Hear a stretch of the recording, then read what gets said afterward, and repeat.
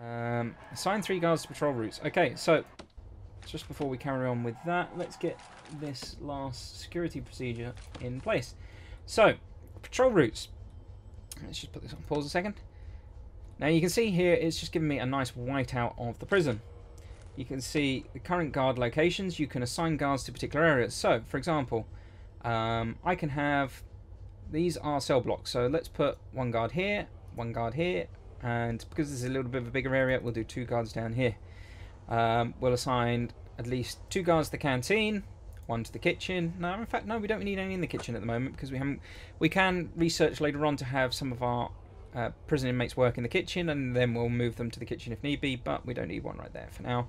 Um, we'll keep one in parole um, down here. Arguably, in real life, again, this is where you're going to draw the comparison. If you find out that you're not going to be given parole, you're going to have a bit of an argument with the people that are there to tell you that. So having a couple of people in there, and then again the same in visitation, in case there's any problems, it's always handy to have. Um, we'll have, I think we'll be able to cover the rest with. Oh no, we'll put a couple in the yard. We'll put three in the yard as well. Right, now routes. Um, we will assign a route in here of going through down here, along here, along here, and we'll have to include this cell down here. Now, whenever you click it assigns a guard, if you just literally right click on them, it just gets rid of that guard. So at the moment that is a route but has no guards assigned to it. Um, here we go. So that's all I wanted for now. I have one guard and that is the route that he's walking. It walks next to all the cells, so it keeps an eye on all the people up here. And it also walks through the kitchen and the canteen, so it keeps an eye on people up here. So we will do the same down here. These are the solitary confinement cells, so we'll have one guard walk along the solitary confinement cells, and then walking along next to the normal cells, and walking along next to these cells. And we'll have him just come along through the common room, just keep an eye on it, and we'll get him to poke his head into visitation as well. So we only want one guard walking that route as well. Um, we'll have one guard just going backwards and forwards down here along the parole and chapel. Uh, we don't need anyone in the staff room because that's all for staff. Um, in fact, we'll probably make this one a little bit longer. And we'll have a second guy just so that we have um, the holding cells looked into every now and then as well. Um, you could arguably have someone check the utilities, but I don't really think it warrants it for now because it is a separate room. Uh, later on, I'll put CCTV in there anyway, so it will uh, be watched. Uh, I can assign people later on for this one once I need it, um, depending on what I do with it. So let's turn that off. Um, we have one, two, three guards at the moment assigned. Grey means they're currently not assigned. Well, they're assigned, but no one is fulfilling it. So as you can see, I need more guards. So let's hire a couple more guards.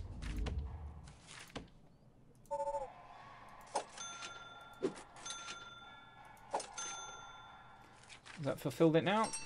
That has now fulfilled it. So there we go. We have guards assigned to specific rooms. And we have three guards on specific patrols. That means that we are we currently don't have any guards roaming, however, so I might get another guard just for roaming. That's fine. Um, roaming guards are useful for if you need someone to be searched or you need a door open somewhere. At the moment, for example, if a door needs to be open in this block, so for example these jail cells, it will be one of the prisoner, one of the guards here that will go and open the door. However, a door, you know, for example, if I put a prison door here, there's no one assigned to this area. So one of the other prison guards will have to come from somewhere across the prison and come and open the door. Now, the roaming guards are the people that are likely to do that. So the roaming guards will come out and meet the new prisoners when they arrive. Uh, they'll search cell blocks whenever things need searching. Um, yeah, they're just handy for roaming around. Now, arguably, having 16 guards and 25 prisoners isn't a great ratio, but at the moment I'm going to probably extend a few of these routes and change a few of the deployments to utilize the guards that we have. Um, in an ideal prison, you can get away with four guards, sorry, four inmates to every one guard. Uh, at the moment, it's almost one for one. So, yeah, I, I, as I say, I'll redeploy it uh, later once I've got these prison cells planned out. So, let's finish the planning up here. uh, objects. So we'll just assume that this is going to be the one, it's going to be duplicated all the way along here. So we'll just do the walls for now. Wall, wall. So this just allows us to plan where the break is going to be.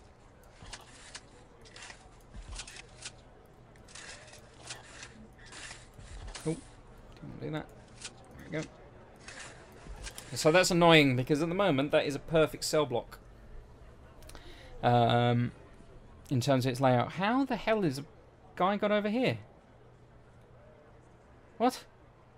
That makes no sense. How's the prisoner got up here? Get back over here. I have no idea how he's got over there. How bizarre.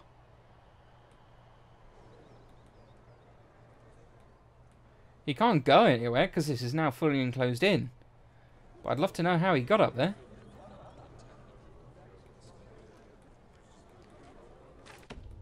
Um, I think I might need to get a security guard to escort him back.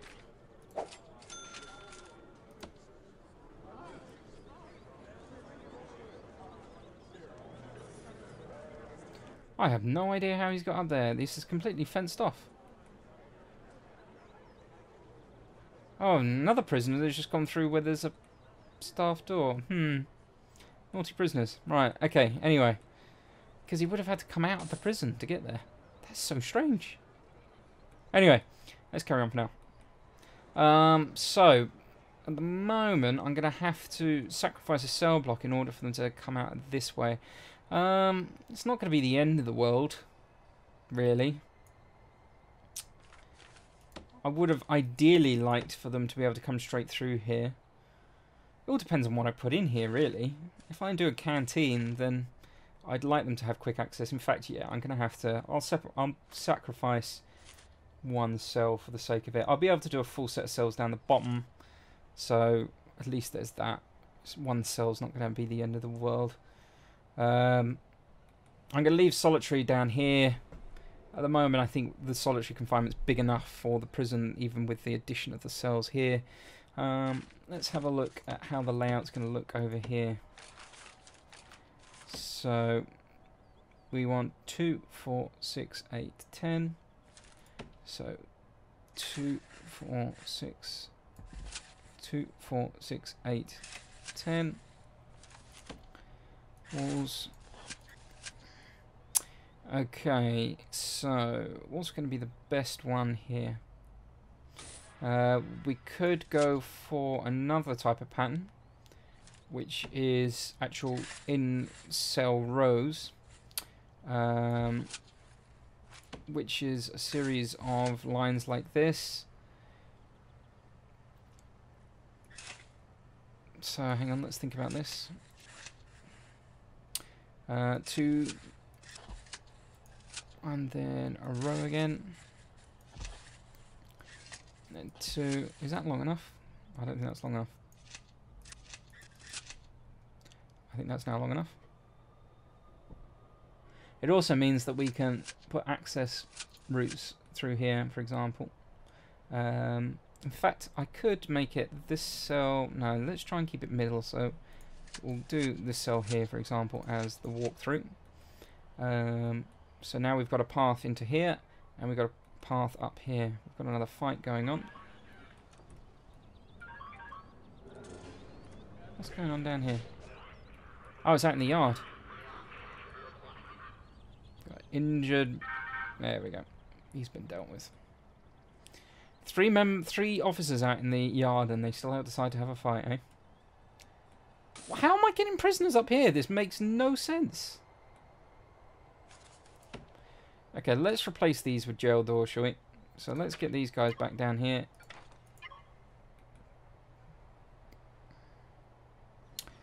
I have no idea how these guys are getting up through these doors.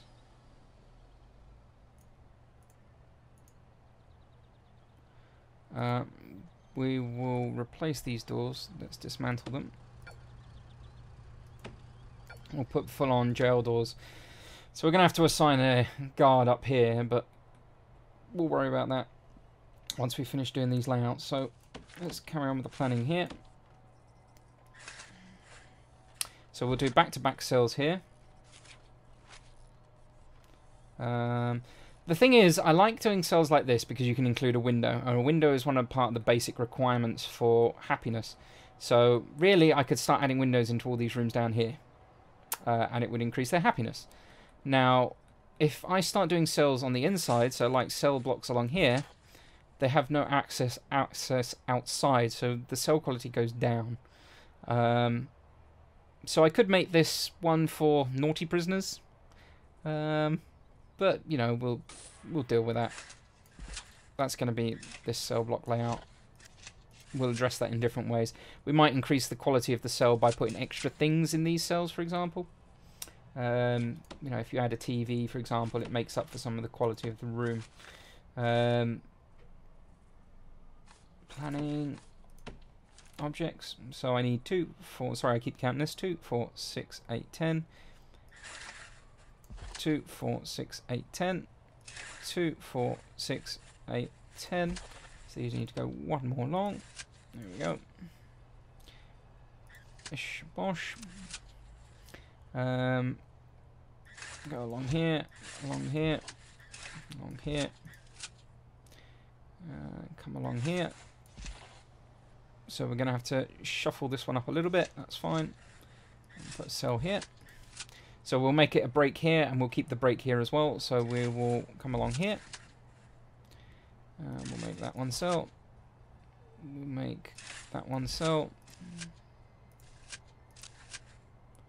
There we go. So we need to adjust the shape here a little bit um, because this is not going to work otherwise. So we either make this a dormitory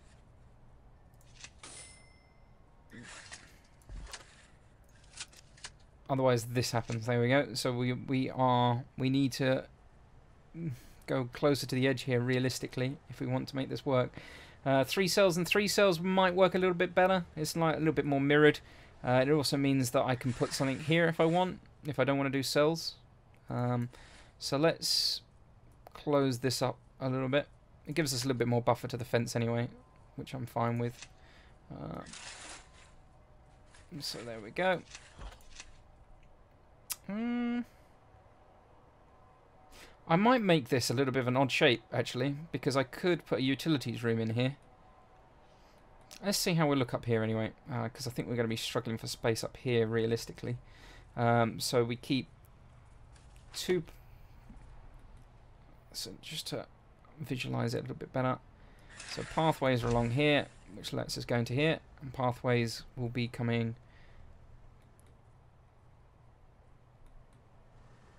let's put these quickly put these doors in. So inmates don't randomly start appearing up top again. Um, so pathways, planning, pathways. So that will go into this yard, all the way from up here. And then if they want to go for food, they'll come into this area here. The same with these guys, if they want food, they're going to come in through this way here. Okay. So these guys up here, let's change these around a little bit,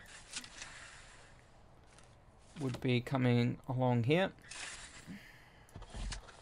So I can either make an opening here, which I think is probably going to be the better option. So really, I'm going to make this huge area here the new canteen. This is going to be the new area where they're all going to eat. Uh, I could essentially make this area up here the area that they cook. Or that's a little bit small. I don't know.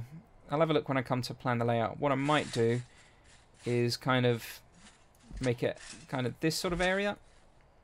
I think uh, an area like that's going to be a little bit more reasonable. Um, that way I can plan out a few enhancers in this area if I like. Uh, but let's finish off these cell blocks, shall we? So um, objects need to go five long. So one, two, three, four, five long. Wall here. Wall down here. So I could make this area a little bit shorter if I want. Um, I think making it two blocks shorter might be a little bit better. Um, or I could just make it longer, really, I guess. Let's finish this. Uh, so, walls along here. Let's try and get an idea of numbers as well, will probably be helpful. Just the shape a little bit. Try and keep it as uniform as possible.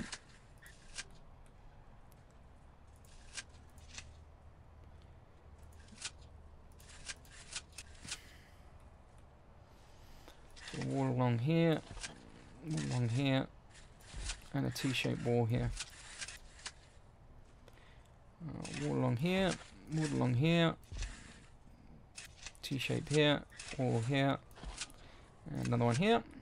And right, so this is now giving me 1, 2, 3, 4, 5, 6, 7, 8, 9, 10 down the bottom and 9 across the top, so 19 there. 1, 2, 3, 4, 5, 6, 7, 8, 9, 10, 11, 12, 13, 14, 15, 16, 17, 18, 19, 20, 21, 22, 23, 24. 19 and 24 cells equally. So, that is a nice couple of blocks. It's going to take us well above our 50 requirement and on our way to our next. So that's going to work out quite nicely because if I do make this, in fact, yeah, I'm going to make this a huge eating area because what I can do then, I will bring the wall up to here because that way, if I then decide to put the next cell block in up here, they can all still carry on eating up here. Or alternatively, if I do it here and then make an entrance here. So that way, these guys can come out of and into here to eat, these guys can come out of here and up here to eat, and these guys can come down here. So they all come in from three different directions, so they don't all cluster up. Um, but it does mean that if I put another cell block up here, realistically, I should probably save this area to be a second yard, because trying to get the guys on up here to walk all the way down down here, by the time it actually gets to uh, being yard time, they're going to spend most of their time walking, and not actually get to the yard, so their um, happiness is going to go down. So I'm going to make, say, half of th this. This is definitely going to be the eating area. Um, we will probably make the wall just one more offset, so we'll go like that. So this entire area, I'd say, is going to be the new eating area. This area up here, I'd I'm going to make the cooking area. I'll adjust it depending on, in fact I'm going to delete that, and I'm going to adjust it depending on uh, the ratio of cookers, fridges and tables.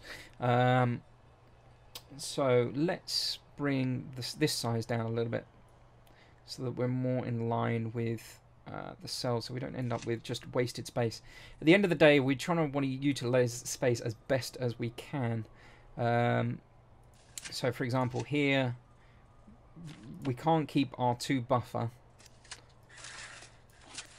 If we add another cell here, we, we literally, you know, a tiny bit of land, a fence, and then the road where they can escape from. So that's not realistic. So we'll get rid of that. Uh, I could move the whole thing across a little bit if I wanted to. There's no reason why I couldn't do that. Um, but I don't. I'm quite happy with the way that it's laying out at the moment, so we'll just leave it the way it is for the time being. Um, we'll drop this down the two blocks, so walls here at the moment. We'll go one, two, and we'll make the wall here instead. So we'll get rid of this. Um, we'll get rid of this. And the walls are doing this now. So is that no, that's now too short. So one, two, is that too short again? Two, four, six, eight, ten. No, that's perfect now. So put a wall in there. T-shaped wall here.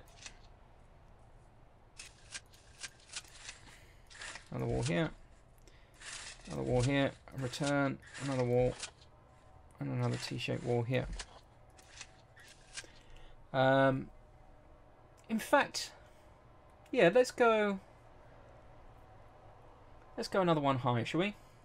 I don't see why not. So we'll make this the actual end block. So we'll open this up. These are another set of cells. These are another set of cells here. We'll keep it two wide. So we'll make the actual end there.